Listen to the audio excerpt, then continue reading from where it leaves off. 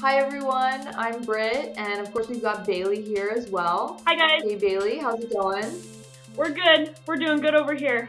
And Moon Buddy. And Moon Buddy. Amazing. So thanks for joining us everyone for this week. Um, we're super excited to uh, have you tuning in again. And of course we're going, we decided like we're having fun, so why not? Let's keep this wine tradition going. So why not? Cheers, Bailey. so, um, yeah, so before we get started here about the episode, we, as promised, uh, did want to go ahead and, oh, my mouse, my mouse is not working. There we go. Um, we did want to go ahead and um, have some shout outs to some of our favorite comments. I feel like we're just gonna we're gonna do this because you guys are giving us great comments. Yeah. So on our last reaction video, which was season two, episode five, um, as always, great comments from Darsh. Very nice. Celestial Citizen merch for the win. Um, love it. And um, looking for longer videos as well. We got a number of comments about that, Bailey. Yeah. Um, we, I, they just love us. I know. Just can't get enough, I guess. We probably have. Um, but yeah, no, and also longer clips. So longer clips Yep. of the show, which we we are um check out this well, by the time you watch this video, you'll probably have already watched the other one, but we're working on it basically. Um, the video that's coming out this Saturday is going to uh is going to have more clips from the show. So we hear you people. We hear you. We love your feedback and we're going to try to integrate it. So, yeah, we're trying to make it happen. Um, and so yeah, so we had Robin um, also kind of said the same thing there, and um, Can we talk about Johnny as Doe for a second? Let's talk about Johnny Doe. Yeah. Okay, Johnny Doe. We are really happy about this. You made our day. We put it out there into the universe that we wanted a poem. You delivered. We're gonna read it live here. Um, Johnny Doe wrote. I feel like I need to like cue some nice music here. I know. We'll, we'll get them to add it in. Yes. Okay, maybe we can add in some like really nice flowery music. It's almost Valentine's Day, so this is really fitting. is. Um, Mars is red, Earth is blue. I like watching your reaction videos for For All Mankind season two. Well done, Johnny Doe. Yes, snaps Wow. all around. Wow. Um, What a poet. yeah, that's really solid work. I I love it, and you delivered. So thank you. Um, and then we also have it's Zach who says you guys should react to The Expanse. What do you think, Bailey? I absolutely love that idea. I think that'd be super fun. Um, I need to start clearing more nights of the week to watch stuff with you, Britt, apparently. But I love the idea. We, we can figure this out. yes, yeah, I I think so. I mean, look, we're gonna be wrapping on For All Mankind pretty soon, and we might have some time before season three starts. Have they set a date yet? I think I think Mhm. not yet. Yeah, so we're still kind of we're waiting on that season three date. So um yeah, Expanse. Uh, let us know, guys, if there's anything else that uh, any other shows, space shows, science shows that you really uh, feel like it would be fun to do this with us. Um, we always love to react to stuff. So We're very reactive. yeah, Yeah. reactive. Yes. Sometimes we try to be proactive, But it doesn't go well. so instead we're reactive. Just kidding. We're very reactive. anyway all right so now let's talk about the episode okay so this is uh season two episode seven is that right yeah episode seven um don't be cruel That's like I said, that's an Elvis song. I love Elvis. That's an Elvis song. I'm curious to see how this goes. so last thing before we hit play what is our drinking word of the day I don't know. I'm blanking, Britt. Something space related. How about that? i well i was actually gonna go with inappropriate Inappropriate. because i feel like this episode is gonna be inappropriate Very inappropriate. here we go people don't be cruel Also being held against my will, unable to go home. Thomas Paine was killed, Sergey, along with 268 others. That's why we're here. Also, his accommodations are a lot better than Danny's, so yeah, yeah. To heaven. he's got a ring on. But it's on his right hand, not his left. Maybe it's true. Oh, you're right. Yeah. Look at you, eagle eyes. You're always. Is that his purity ring? When you get to the telephone, I will call Moscow. I'm gonna say it's his purity ring. It was another day of dramatic developments in the case of the plane shot from the sky, the shooting down of Korean Airlines Flight 007. The Soviets admitted for the first time one of their fighters shot down the oh jumbo jet and the I know. I was like, isn't that a little board. but the ironic given that they think insisted it potentially they like didn't know that it was a civilian airliner. or being used for The United. States reacts with revulsion. Maybe without the moon landing, 007 James Bond never existed. We don't know.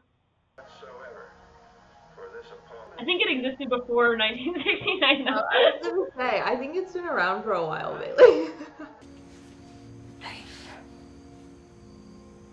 You're here, alive, with me. And I'm so damn grateful that you are.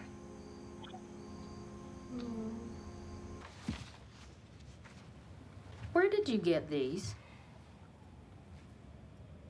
Okay, but can we talk about her shirt real quick?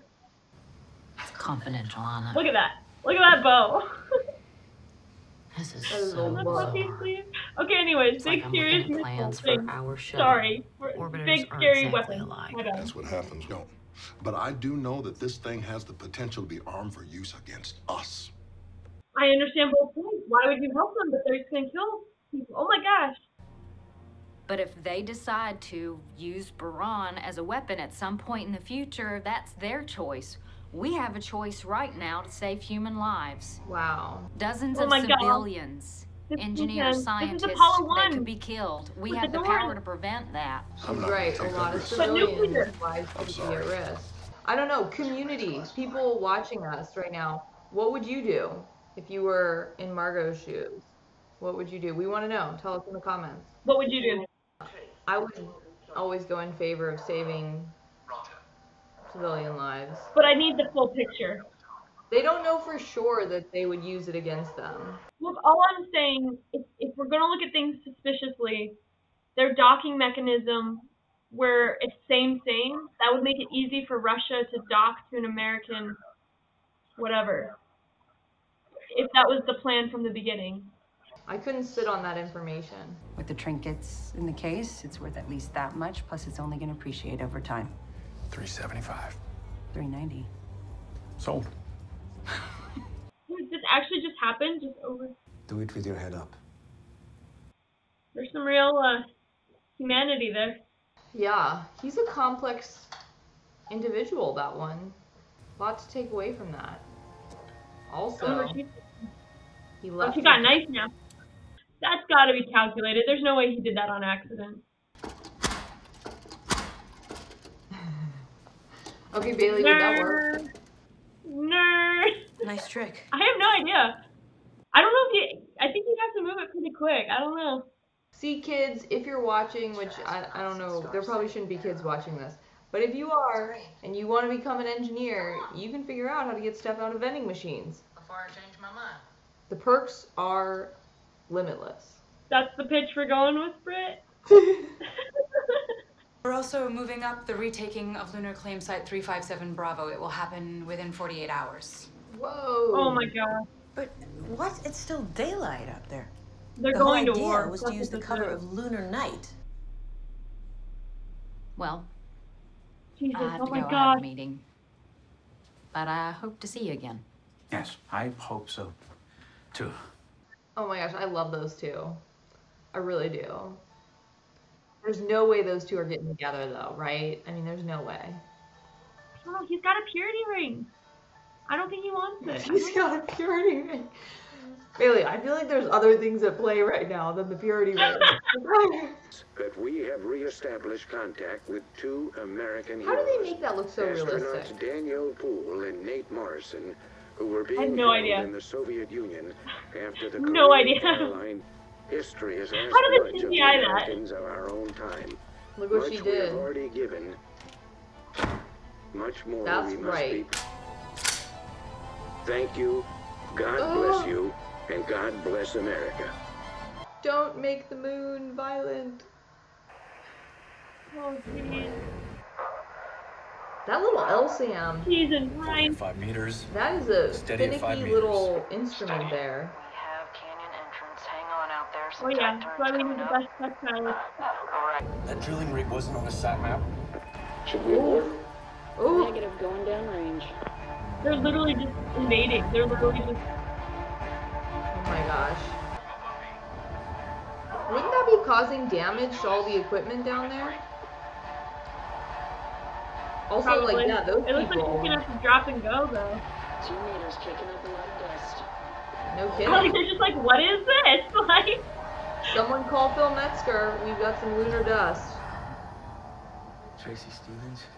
we got some questions for you, Phil. Yeah. Dr. Metzger, sorry, sir. Not good, but the scene was badass. Ooh, ooh, the next episode is And Here's to You. Is that like a nod to like And Here's to You, Mrs. Robinson? Oh, I actually, I, I'm behind it. I mean, I don't know. I think that could be what they were going for there. But we will find out. Karen is certainly acting like it. Um, wow, wow. What an episode, Bailey, right? I can't even, in my head, remember all the action that happened. There were so many things to talk about. So many things. Like we started out the episode, KL 007 goes down, and then it was like Yeah. it was just like full speed from there. We had lots of drama, you know, back Earth side, but then to end the episode with like yeah, they like take over their little mining operation there. So why did we follow? I mean, that's what I, who Ellen said that that was what she instructed the president to do, right? Mhm.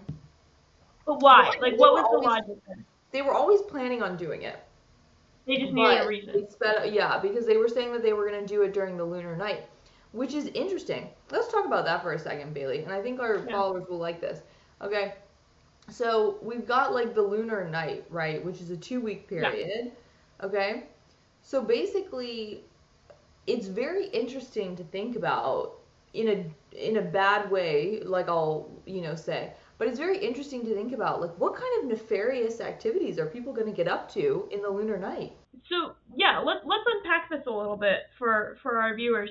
So we've got the lunar day and the lunar night, and each of them are about 14 days. That's why we have you know 28 days in the phase of the moon and that kind of stuff. If you actually are on the moon, there's um, 14 days of lunar day, 14 days of lunar night. Lunar day has sunlight, not all the time, but it has sunlight and such.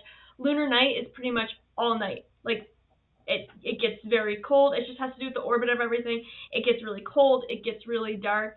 And the fact that they were planning so a big power move would be to do stuff during the lunar night because as of right now our technology cannot necessarily survive the lunar night like it would have to go into hi- hibernation um, save the battery power there's no solar panel for like energy or anything like that um, so for them to for the US to claim they have the ability to attack to actually have their things operational during the lunar night is huge we we can't do that right now from my understanding so, I mean, it would have been honestly more impressive if they attacked during the lunar night. I would have been like, whoa! But yeah, you're right. Like, so lunar day is the only thing that makes sense right now. But if they were planning to attack during the lunar night, why did they go during the day? Like, oh, but oh my gosh, a vulnerability. If they're if they're lunar night, right? Like, Russia would be shut down trying to do power saving mode. So like, that's a big move. It's really interesting to think about like how these dynamics could potentially like play out in the future. Um but yeah, that's a that's interesting. Like why did they move it up so I mean obviously yes, like the the plane being shot down feels like things like tensions obviously escalated as a result of that. Um but is it that they're concerned about the like weaponization of the um of the rocket that they were talking about like that's the one that's like supposed to go to Mars, right? Like they said that they basically copied. Did I understand that right? Is that how you interpreted that? Yeah, from my understanding, it's what Pathfinder's a nuclear shuttle, and basically somehow Russia got the exact plans and created the same thing. Um, put a missile in the cargo bay, just like the U.S. said they could do, but they weren't planning on doing it. So basically, Russia's able to do all this. Russia doesn't know about the Challenger O-ring thing, so that's why Margot dropped that information. But what is I don't Which you would think if they have all this other intel, they'd know that, right? Like how do they get all this other, you know, information about Down to, what like, the the US is doing, Yeah. Well, but not that one piece. they said that the designs that they recovered were from two years ago, and my guess is this Challenger thing happened in under two years ago. So it's like Oh, true. You're their right. information Yeah. was old. Yeah. Yeah, that's a good point. And where did and like how did they get the information? Was it like a mole on the inside? Oh, like 100%. Yeah. I don't know if we'll Okay. ever know who that was. Yeah. so yeah. All right, Bailey. Let's see predictions for the next episode. What do you think's gonna happen?